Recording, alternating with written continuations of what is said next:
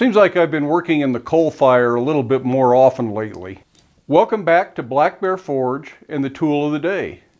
Since I have been using the coal fire more, I thought I would just briefly discuss some of the tools that come in real handy if you are working in a coal, coke, or charcoal forge.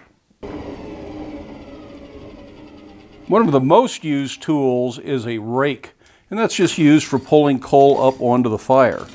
You can use it for breaking up big chunks of coke as well if it, you've got big pieces you need to deal with, but mostly it really is just used as a rake.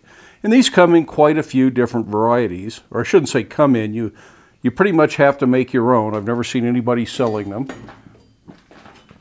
This really simple rake was made out of a piece of junk I found in the road when I first started blacksmithing and was the very first thing I made after I made my own little brake drum forge with the old vacuum cleaner motor. And it's a really a pretty good rake, even though it's simple. Has no real artistic flair to it. It is just a basic functional tool and it still does the job 30 plus years later. This is another sort of a rake. This one's not really good. There's just not enough there to really rake. So a little short point like this doesn't really do you a whole lot of good. I hope you can see the dark tools against the dark coal there. Really, when you're working a fire, the temptation is to just use your hand, which gets your hands really filthy dirty. And if you've got hot coals around the outside, that's a good way to burn yourself. So the ideal rake probably looks just like that. And I need to make one like that. It would be similar in shape to this, but maybe an inch and a half wide, and that would be much better. Sounds like another good video topic if you ask me. A coal shovel to get coal out of the bucket or bag or barrel, wherever you keep it, is handy so that you can bring coal in and feed the fire. And a small shovel or a paddle is handy. It can work similar to a rake, but it also helps pick up coal and actually move it to the other side of the fire or wherever you need to to move it to, so you don't always just have to rake, you can do some shoveling. I've got a couple of different shovels. This one's riveted together, this one was forge welded, this one has been used so much the edges are starting to burn off of it because I use it to heat small parts in as well as, as a shovel. But very useful little tools around the, the forge. Another good video topic.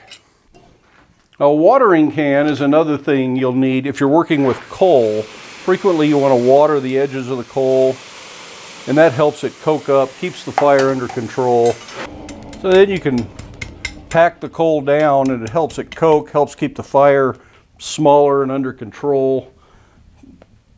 But you don't really need that. With charcoal, it's better to stack bricks around to keep the fire in control. And coke I don't work in often enough, but I don't think people that burn coke use a, a watering can too often to keep their coke under control. One of the last tools that I use with a coal fire is just a straight poker, and I use that for getting clinkers out. Now that I've got that fire all banked up there, but after you've been working in a while, the fire's all kind of tore apart, it's probably dirty, and you probably have some clinker in the bottom. And we've discussed fishing for clinkers in the past. I'll try to link to that video right up here somewhere. But you can use that straight poker then to kind of pull the clinkers out without disturbing the fire any more than you have to. Well, that's a really short tool of the day. Not a lot to say about these tools. They're tools you make yourself to suit your purposes. These aren't tools you buy anywhere. So make what you feel like making. I recommend you make all the handles a little bit differently so that you can see which tool you have just by looking down at the, uh, the hearth, you know that this one's a rake and this one's a shovel and that one's a, a straight poker. And of course the watering can is the one over on the slack tub that's covered with rust. Anyways, I hope that was interesting. Give it a thumbs up if you can. Love it if you hit that subscribe button.